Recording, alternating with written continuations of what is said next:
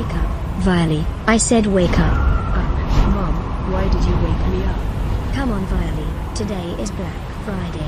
Don't you want something from Target? Alright, okay, I'll get ready.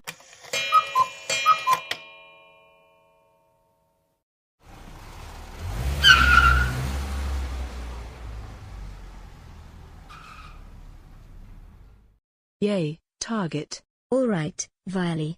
Remember, you need to be on your best behavior. Or you will be grounded, okay?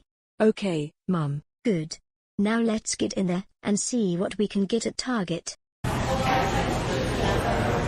Oh my god. Super Mario 3D World is available. Mom, can we please buy this for my Wii U? No way, Violy.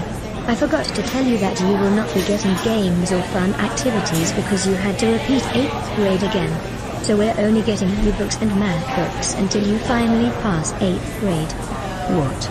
Are you kidding me? I want Super Mario 3D World. Buy me that game right freaking now now now. Violy, we told you that you are not getting video games because of your bad behavior at school. Well, you'll now have to get something else Violy, because these teenagers just got the video games. Um, Violy, what are you doing? Wait, that's my game.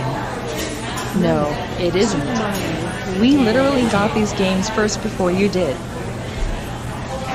After her.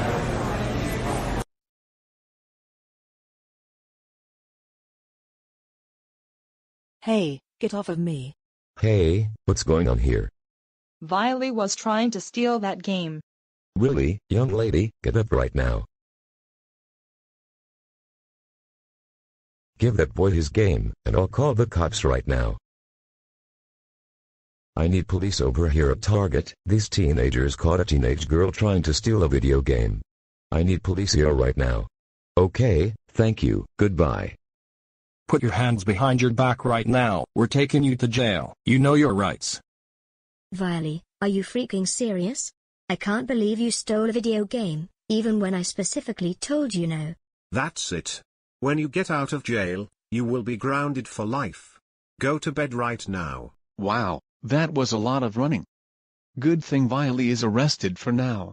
I know, good thing we got the games we wanted for your Wii U. It's not over yet. What do you mean? We still need to go to court. No. Are you Are you fucking fucking shitting shitting me? me?